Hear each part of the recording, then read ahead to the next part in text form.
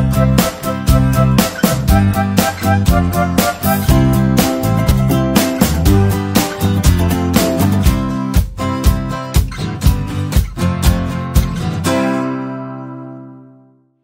Everyone, it's Jess. I am here with another card for the Valentine's Day Cardapalooza week.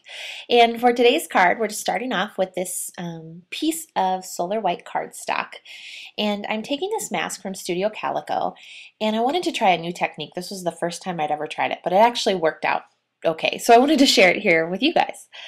And Today's card is non-traditional Valentine's Day colors. We're using blues and purples, but I thought it would be kind of nice maybe for a mas more masculine card instead of the pinks and reds you usually see, even though I do love the pinks and reds.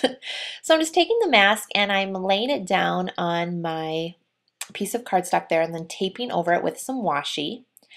And then I am thoroughly coating it with a thick layer of Versamark. So the idea here is that the Versamark will get into all those little um, negative areas where the stars are cut out. And what I'm hoping and what worked out pretty well is that I can then go and emboss the Versamark stars. So I'm just taking some silver embossing powder here and putting on a pretty thick coating of the stuff. And I actually don't really use silver embossing powder very much, but it was really fun and it really adds a nice sparkle to your project. So I think I'm going to have to bust that out again. But I'm just making sure everything gets coated and it's not perfect. It's not as good as if I were to have like a star stamp star background stamp. But it was good enough, especially because I'm going to be doing some inking over it and it just the way the stars are, they didn't need to be perfect. They could just be little silver, I don't know, dots and look okay still. So now I'm going to ink over that background. I heat set the embossing powder using my heat tool and I'm starting um, at the top with peacock feathers. That was a seasonal distress ink.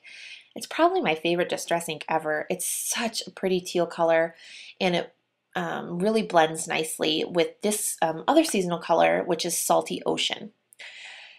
These two are probably my favorite combination of distress ink colors at the moment. They're really pretty together. So one thing I like about distress ink is that you can build it up and sort of create a light or a dark look. Right now I'm just starting off light because you can always build. So if you go dark, you're committed to the dark look. and then this last color here is the Dusty Concord. So when you're working with distress inks, you just want to remember to use a light hand, start off of the craft sheet and um, work your way on. I like to work in circles.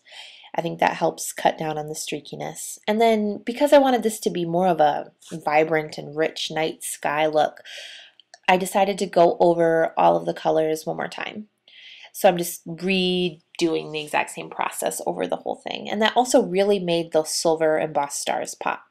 And because they're embossed, they resist the ink, so I didn't have to worry about them getting ink on them. Now I'm just taking this piece of cardstock from Bazzill. It's from their card shop collection. It's a nice gray color. And I wanted to make a top folding card, so that means it is five and a half um, tall by four and a quarter wide. And then I'm just trimming down this little piece that we created because I wanted it to have a fourth of an inch border around the outside of the whole card.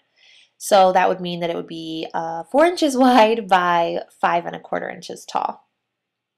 And I am going to take my little inking tool with the purple on it here, just because when I cut it, it kind of got the white core showing again, and I wanted to make sure that it looked really nice and finished. So I have this little stamp set here from Studio Calico and Hero Arts. It's the Darling Dear stamp set. And I'm stamping out the sentiment, I thank my lucky stars for you in VersaFine ink. I thought it was a really nice complement to our star background. Then I'm also taking this little square framelit and just running that through my die cut machine just to have a little uh, sentiment element that I can place onto the front of the card. Then I'm taking this gray twine from Doodlebug. It's a really nice soft gray. It works for a lot of different projects.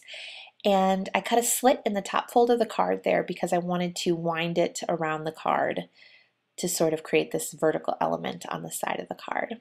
So I wound that around three times.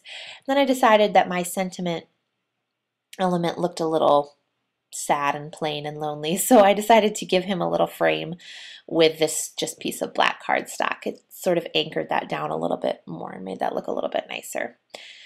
So I'm just running some glue dots along the back of that there and adhering that onto the twine. And then I am creating a double bow out of the twine just because I thought that looked nice with the thicker, with the three strings in the background. It needed to be a little bit thicker and chunkier than just one single bow. So I just tied that up really quick and easy. And I'm sort of messing with it there to make it look exactly right. That's kind of a tricky thing to do is to make your bows look perfect. And then just taking a little micro glue dot, sticking that on the back of there, and then mounting that to the front of the card. And that's it for today, guys. Here is a picture and then a close-up. And as always, you can visit www.jesslarsendesign.com for more.